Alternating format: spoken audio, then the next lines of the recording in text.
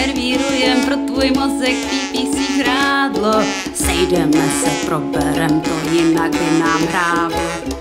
Máme tu no zajímavých otázek, máme na to, udělej si obrázek. Já vás vítám u dalšího dílu našeho podcastu PPC Brain Food a tentokrát to bude na takový těžký téma, který si myslím, že hodně často řešíme a to je brand versus performance. Budování brandu, budování značky versus teda performance kampaně. Myslím si, že je to hodně těžký téma, protože často vlastně ty poučky, které slýcháme, jsou z velkých korporátů, z velkých firm, který, který mají nastavený mm, rozpočty úplně jinak než, než my a často ani nemůžou jako jinak, úplně jinak doměřují než my to, ty výsledky svých kampaní. A vůbec jako ne, nepovídám o mediamixech. A plus další, další problém je, že často i my, kteří se o tom bavíme, tak za stolik teda uh, těch teoretických znalostí z marketingu nemáme a uh, potom je to, je to prostě celkově velmi, velmi, velmi těžký. Proto bych dneska chtěla začít vůbec takovým trošku ujasněním pojmu. Protože máme branding, Máme budování brandu a budování hodnoty značky. A teď, jaký jsou mezi tím rozdíly? Branding znamená, že vytvoříte pro značku nějaký odlišení. Je to vlastně způsob, jak odlišit jednoho výrobce od druhého.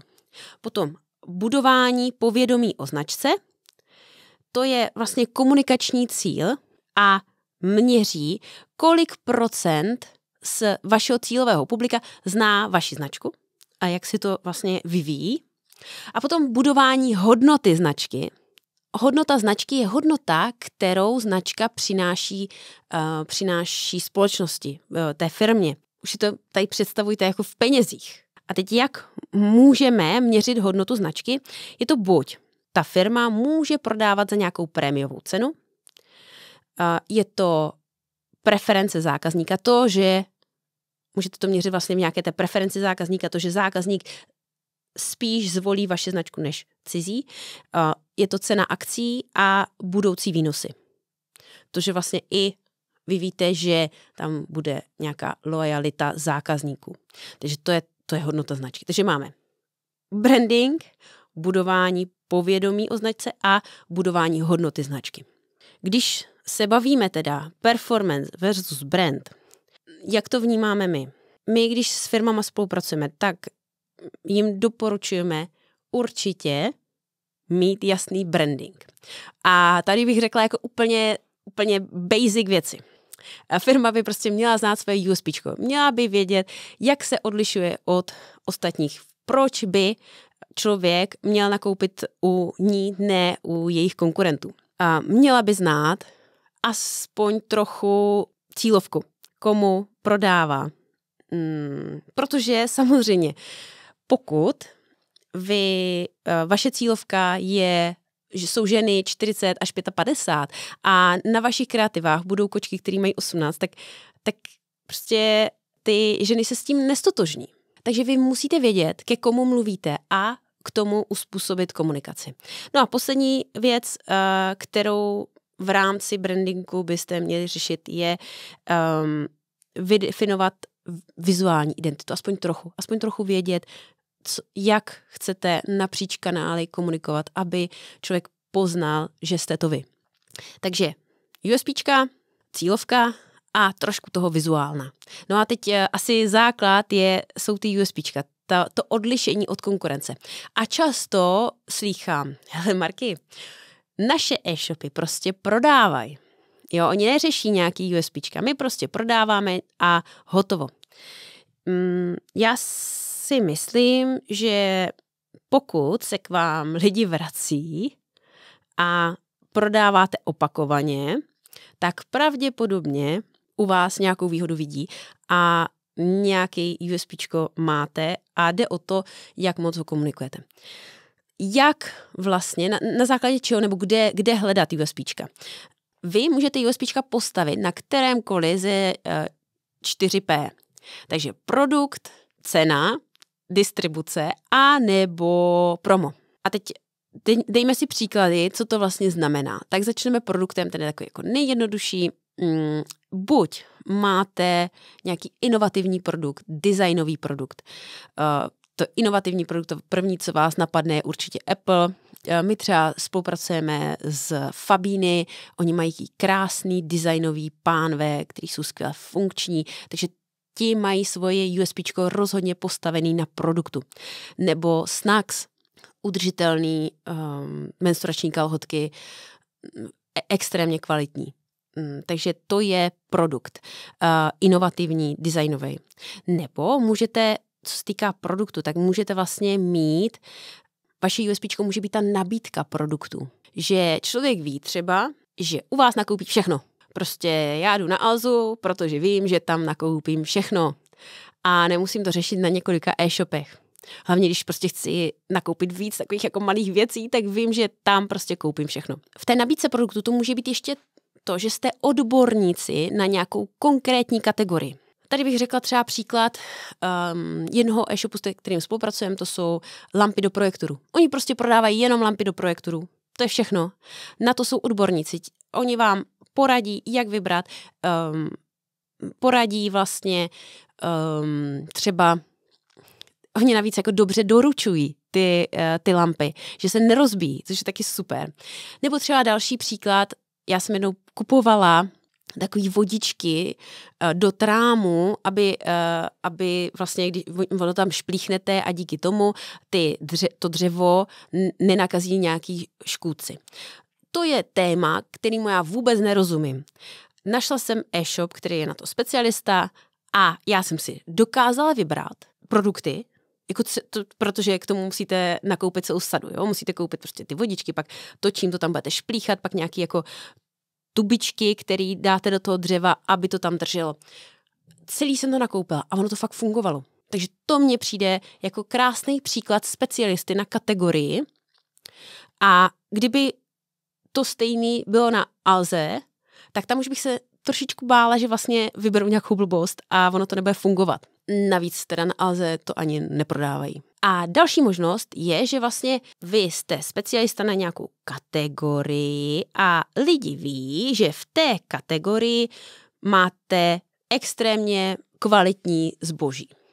Jo, třeba já mám jeden oblíbený e-shop s hračkama, kdy vím, že prostě ty hračky, které tam jsou, tak oni je vybírají, stejně tak třeba mm, e-shop s knihama, mm, jak oni se jmenují, a oni ty knížky, opravdu jako tam, ten, ten výběr těch knížek je skvělý. Takže vy tam jdete a už rovnou víte, že cokoliv si vyberete, tak si vlastně vyberete skvěle. Takže i takhle může být postavený vaše USP na tom, na tom výběru těch produktů. Další odlišení, možnost odlišení je cenou.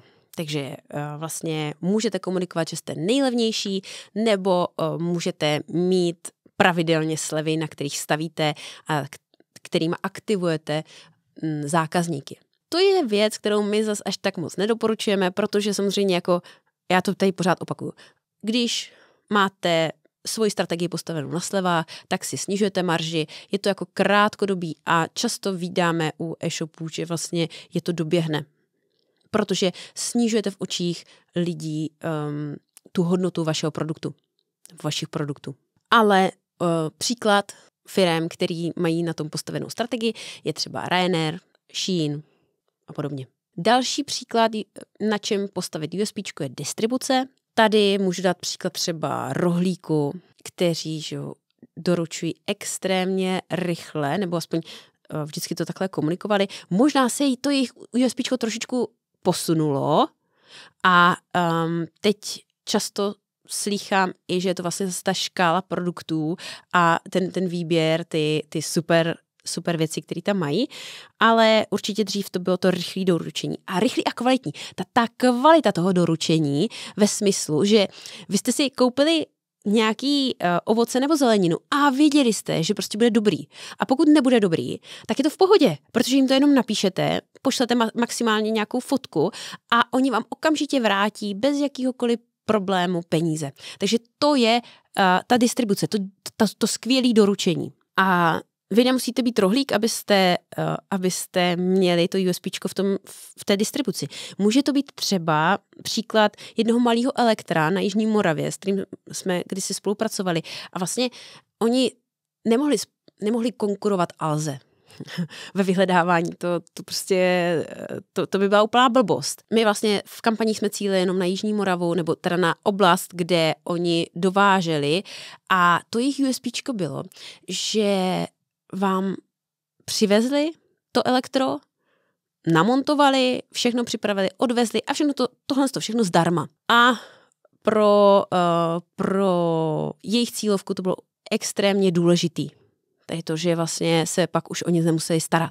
Čtvrtá možnost, na které můžete stavět uh, svoji odlišnost, je promo. A teď si řeknete, co to jako znamená. Um, to je vlastně takový to stavění té aury kolem vašeho produktu a díky té auře člověk ho prostě chce, protože ho vlastně má pocit, že ho chtějí všichni ten produkt. Uh, může to být třeba příklad Coca-Cola nebo Nike. Já si vzpomínám, když jsme chodili že, do školy a teď, teď prostě byl, bylo, byla značka, kterou všichni chtěli a kdo ji měl, tak byl ten jako wow. Teďka třeba si myslím, že hodně na tom promu staví vasky. Jo, já nerozporuji, jaký mají produkt, ale myslím si, že to nejdůležitější je právě to promo. Že, že to, to vám říká, hele, když nosíte vasky, tak jste jako cool, jo. A, nebo North Face. Já si myslím, že já teda kupuju North Face proto, že uh, se mi líbí ta kvalita těch produktů, outdoorových produktů. Ale uh, myslím si, že teďka spousta té mladší cílovky kolem 20, možná míň, kupuje North Face, protože je to prostě cool, protože to nosí celebrity nějaký a, a tak. Takže to promo je to, že lidi mají pocit, že to musí nosit, protože je to wow a vy kolem toho budujete tu auru. Já nechci říct, že když jako postavíte USP na jedné věci, tak už pak jako zbytek toho marketingového mixu neděláte. Zbytek eh, z těch 4P uh, eh, se na to vykašlete. Ne, ne, ne, ne, vy jako pracujete na všem, ale vy vyberete tu jednu výhodu a kolem toho um, pak stavíte eh, a, a, a podle toho taky prioritizujete to, na čem pracujete. Já bych dala příklad, třeba Hedepy kdy uh, si vybrali svoje USP, že pomohou lidem s výběrem terapeuta. Vy si uděláte ten test, uh, zjistíte teda nějaký předvýběr několika terapeutů, kteří by pro vás měli být ti praví. Navíc, jak dál pomáhají uh, s výběrem, tak vy na jejich webu najdete medailonky, video medailonky, takže si můžete je o něm přečíst, ale vidět to video a díky tomu můžete zase trošičku víc navnímat, uh, navnímat, s kým se teda budete pak bavit, s kým budete mít tu čest. Další věc, co teda s tímhle výběrem USP děláme, je, že to je to, co my komunikujeme v reklamách uh, a v, uh, vlastně napříč. To je to, co vlastně první vidíte na webu, když přijdete. Udějte si test. Vy vyberete to USP a to potom, s tím potom dál pracujete. To je pro vás ta priorita, kterou vy rozvíjíte. No a PPCčkaři ti vezmou to USB a komunikují ho napříč systémy. No a jasně, tak uh, samozřejmě, že existují e-shopy, který mají skvěle nastavený PPC ve vyhledávání a prostě tam jsou, lidi na ně kliknou, protože zrovna mají teda nejlevnější cenu, ani se nezapamatují, u koho nakoupili a příště už se tam nevrátí. No dobrá.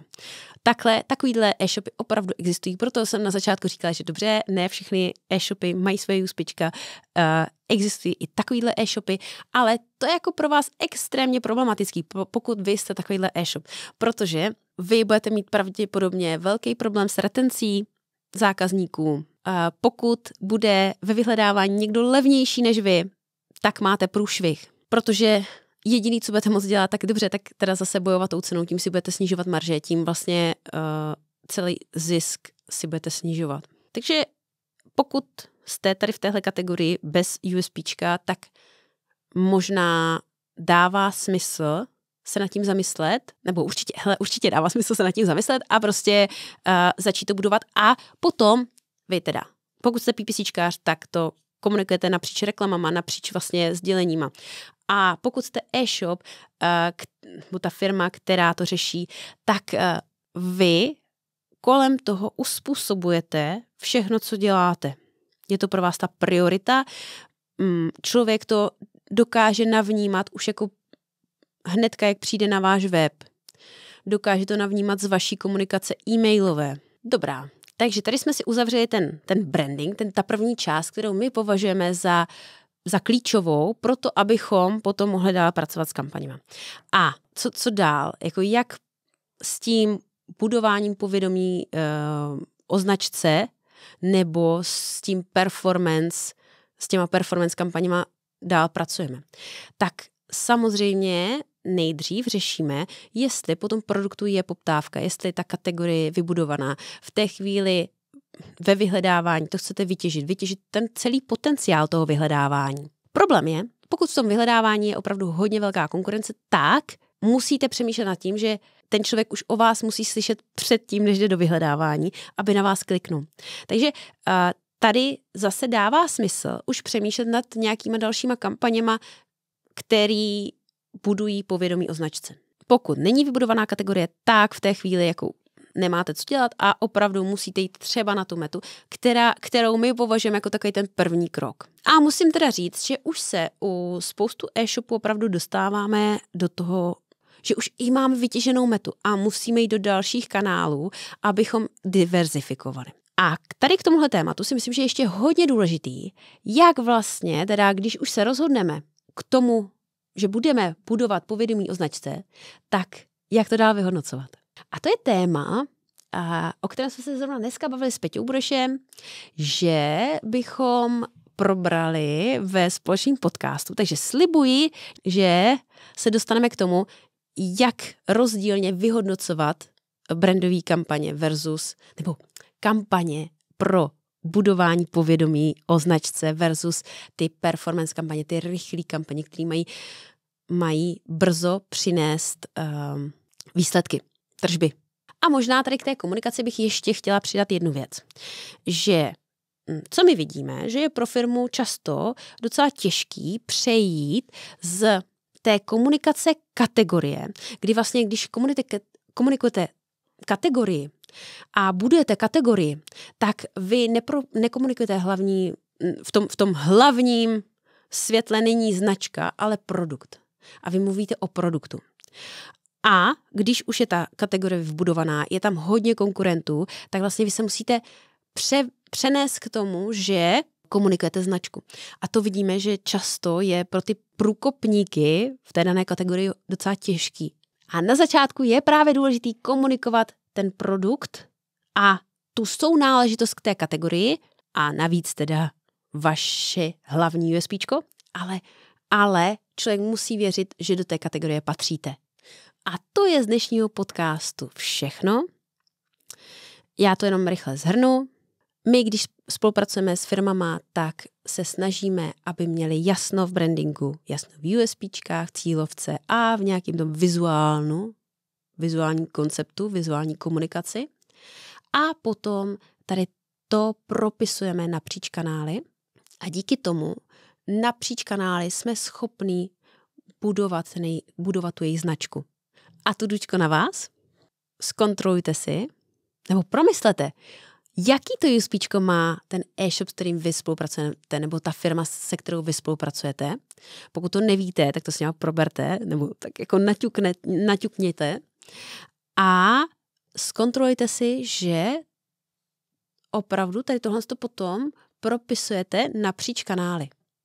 Já vám moc krát děkuji, že jste i dneska poslouchali a budu se těšit zase příští týden s dalším tématem. Mějte se krásně. Dumání a přemýšlení, to je závazek.